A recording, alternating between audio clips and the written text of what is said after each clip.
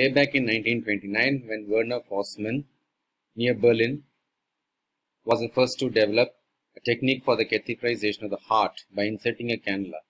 And mind you, he did it on himself. He inserted the cannula into his own antecubital vein, passed the catheter, and then walked to the X-ray department and a photograph was taken of the catheter.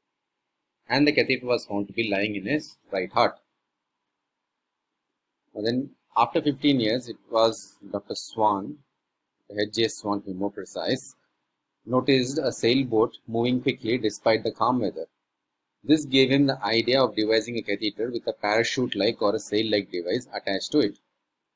At the same time, in another place, another scientist by the name William Ganz was working on the thermodilution method of measuring cardiac output.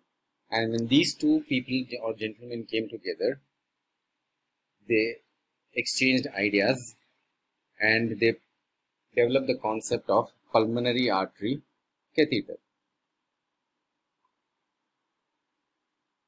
So the PA catheter, this is how a PA catheter looks.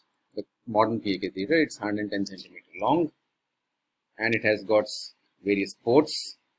The port which opens at 30 centimeter from the tip.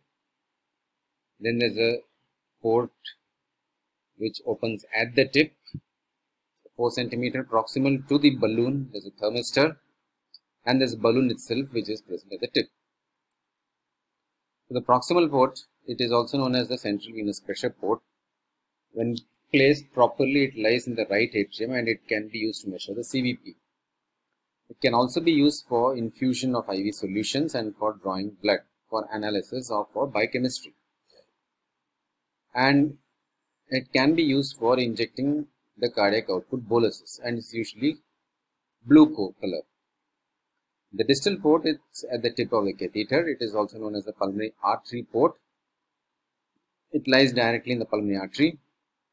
It gives you the mean, the systolic and the diastolic pulmonary artery pressures.